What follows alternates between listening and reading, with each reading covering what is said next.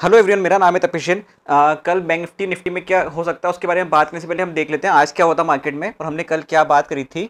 तो हमारा पहला जो सपोर्ट था वो था सत्रह, सात सौ पचास का। तो मॉर्निंग में सबसे पहले वहाँ पे सपोर्ट लिया मार्केट ने और उसके ऊपर गया वापस लेकिन सस्टेन नहीं करता ज़्यादा देर। फिर वापस जब उस सपोर्ट को ब्रेक करा तो सेकंड सपोर्ट जो था, one seven, six seven zero, और वहाँ से काफ़ी अच्छा सपोर्ट लिया और आप देखेंगे one double seven, nine one तक काफ़ी अच्छी रेंज पे ऊपर गया था वो। तो आप देखेंगे मार्केट में ना सपोर्ट अगर काफ़ी अच्छे से काम करते हैं। हम थोड़ा सा उसको टाइम दें, तरीके से देखें तो चीज़ें काम करती है। तो अब हम बात कर लेते हैं निफ्टी बैंक निफ्टी के बारे में कल क्या होता है। तो निफ्टी में सबसे पहले जो करंट मार्केट प्राइस पे बंद हुआ है वो है one double seven one eight का। तो कंडीशन क्या है ना, आज तो यूएस की फेड की मीटिंग है, साढ़े ग्यारह बजे जो इंडिया में के अकॉर्डिंग टाइम पे रिज़ल्ट आएगा यहाँ पे, पता पड़ेगा। तो कल मार्केट किसी भी डायरेक्शन में मूवमेंट ले सकता है, पर जितना मुझे लगता है, कल मार्केट यूएस मार्केट पॉजिटिव ही चलेंगे देखना आप। जितना मुझे लगता है, मेरा ओपिनियन है इस चीज़ को लेके।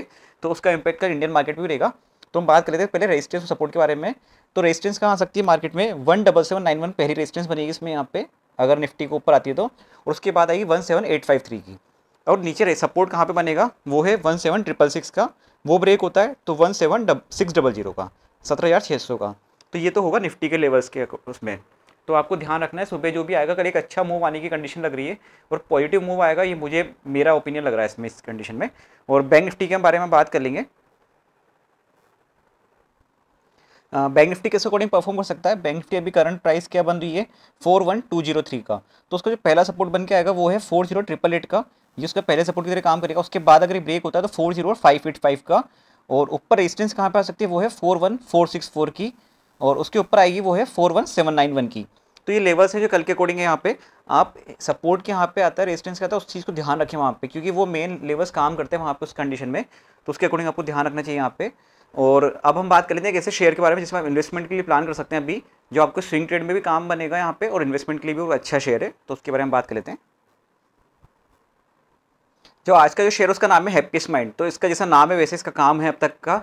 तो रिसेंटली इसका आईपीओ आया था 2020 में लास्ट में तो काफ़ी अच्छा रिटर्न दिया इसने।